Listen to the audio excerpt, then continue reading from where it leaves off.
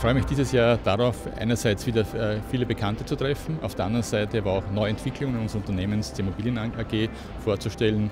Äh, in Rumänien mit dem Orchidea Tower, in Berlin mit dem KPMG-Gebäude. Und das in Summe, glaube ich, macht mich stolz und ist eine schöne Veranstaltung. It's the largest trade fair in the world as far as I know.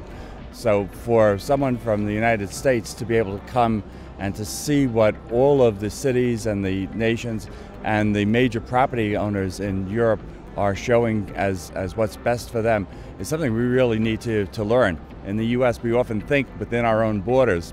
The world's much bigger than that.